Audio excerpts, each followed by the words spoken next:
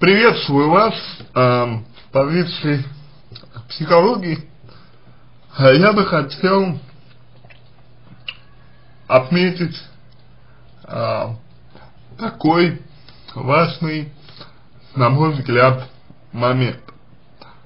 Э, дело в том, что именно вот если говорить э, в контексте психологии, если говорить в контексте, ну, психологического аспекта э, проблемы, то э, вы, вы пишете, что ваши отношения, э, значит, с э, любимым человеком дошли до э, критической точки и а, вы хотели бы получить совет, как довести эти отношения до, а, ну, как бы, до а, счастливого брака. И в первый вопрос, который я хотел бы у вас, который я хотел бы вам задать, это вопрос касается, значит, того, а, почему ваши отношения э, дошли до критической точки, то есть с чем это связано, э, какие проблемы э, привели к тому, что ваши отношения дошли до критической точки, э, каково основное направление э, разногласий между вами, э, с чем они, эти разногласия, связаны, э, на что направлены и так далее. Это первый момент. И второй момент, э, момент достаточно важный, это то, э, для чего вам, собственно, э, счастливый брак в отношениях. То есть, видите ли, А, в чем проблема? Переломный момент, он э, ведь а, по общему а, правилу, переломный момент связан с тем, что а, вы своего мужчину, своего любимого человека, скорее всего, перестали а, слушать перестали его слышать, и у вас а, произошла достаточно серьезная а, расстановка, достаточно серьезное разграничение во взглядах, во мнениях, а, в точках зрения, в желании, а значит и в удовлетворенности. И поскольку а, вот свой вопрос вы задаете а, нам, вы задаете, не он, а вы, то важно понимать, важно понимать главное, что до тех пор, пока и до тех пор, э, если вы, э, условно говоря, не будете э, прислушиваться к своему мужчине. До тех пор, пока вы не поймете, что, беспоко... что беспокоит вашего мужчину, до тех пор, пока вы не будете отдавать себе в этом отсчета, что именно беспокоит вашего мужчину, вот до этих пор а, ва ваши разногласия будут оставаться а, актуальны. Но при этом важно понимать, что если вы идете навстречу мужчине, если вы идете навстречу своему э, любимому человеку, то отдельно хочется сказать, что, простите, но вы можете действовать для своего мужчины, вы можете действовать для него только тогда и только пока у него э, есть отсутствие вреда вам. То есть пока вред вам отсутствует, пока и если вы не чувствуете вреда себе из-за того, что вы хотите что-то сделать для мужчины, из-за того, что вы, э, ну, как-то вот стараетесь что-то для него сделать, да, пока и если этого вреда нет, вы можете э, идти ему навстречу. Как только вред появился, сразу же нужно понимать, что как только вред появился, отношения ваши вступают в фразу, э, вступают в фазу опустошения и жертвования. А это плохо, и это нужно исключать. И мужчина, вообще-то говоря, сам, если он любит вас, если он ценит вас, если он хочет, чтобы вы были счастливы, он никогда не позволит э, вам себе вредить. Он никогда не позволит действовать так, чтобы вы э, ощущали, чувствовали на себе э, какой-то вот вред. Но, а если это происходит, да, можно задать вопрос, а любит ли вас мужчина.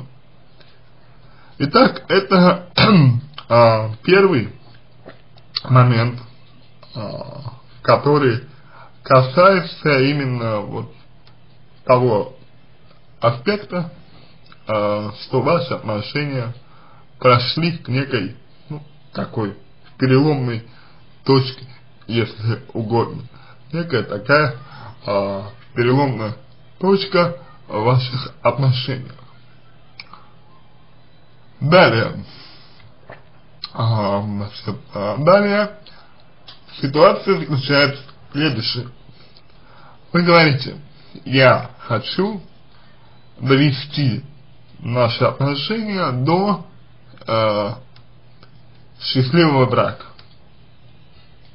Значит, логично предположить, что счастливый брак вам для чего-то нужен, лично вам для чего-то нужен счастливый брак, и вы хотите, чтобы мужчина вам э, дал то, в чем вы нуждаетесь.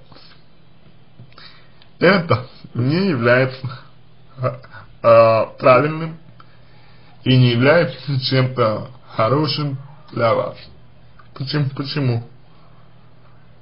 Потому что поскольку поскольку мужчина изначально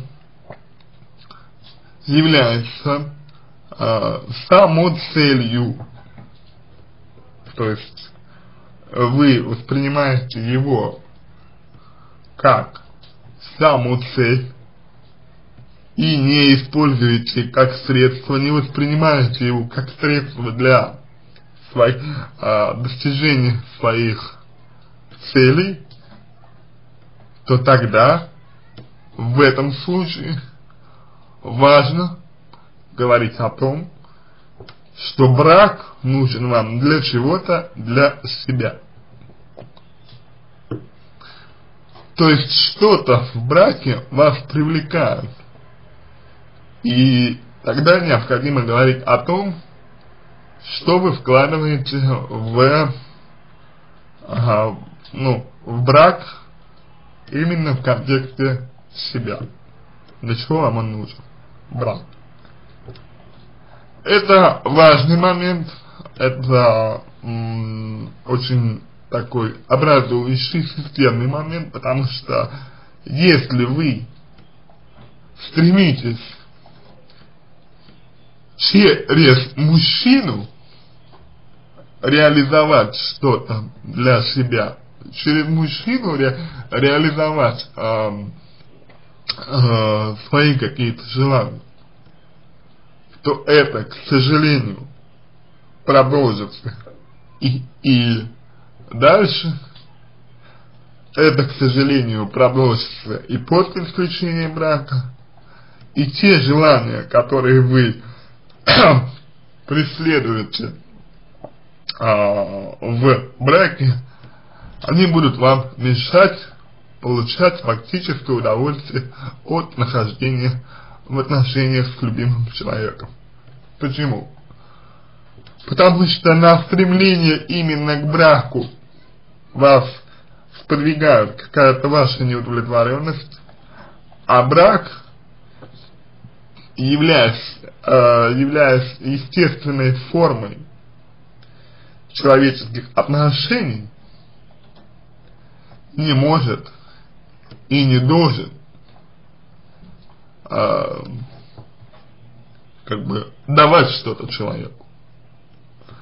Люди заключают, заключают брак тогда, когда они чувствуют себя готовыми на это, готовыми на него, на брак, то есть только тогда они заключают его, а не для того, чтобы получить что-то для себя.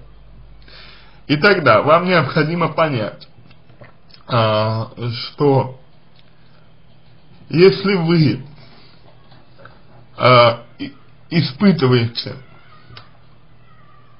потребность в том, чтобы выйти замуж за своего мужчину, то вам это нужно для себя, и вам необходимо от этого избавляться.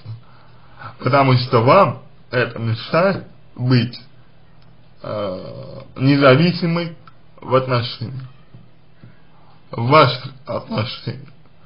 А вам нужно все же быть независимой в них для того, чтобы, чтобы мужчина видел, что он нужен вам именно как саму цель, а не как средство для достижения своей, то есть вашей цели.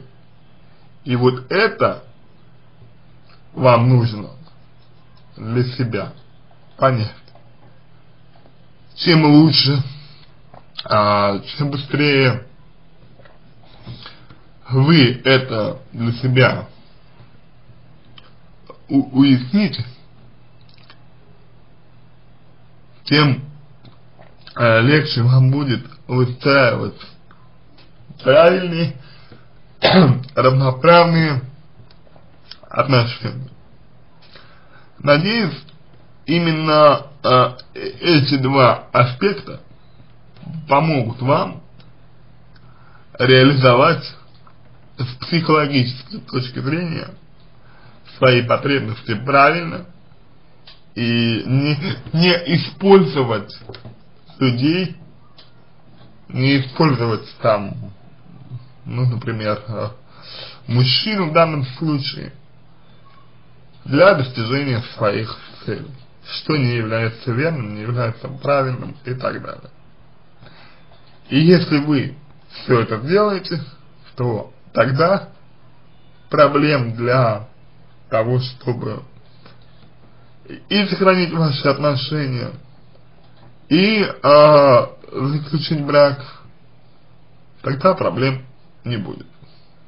Но это только достигается путем работы над собой и путем корректировки своего же поведения. На этом все. Надеюсь, что помог вам. Если какие-то вопросы у вас остались, буду рад помочь. Пишите в личку «Помогу». если вам понравился мой ответ. Буду благодарен, если сделаете его лучшим. Желаю вам всего самого доброго и удачи.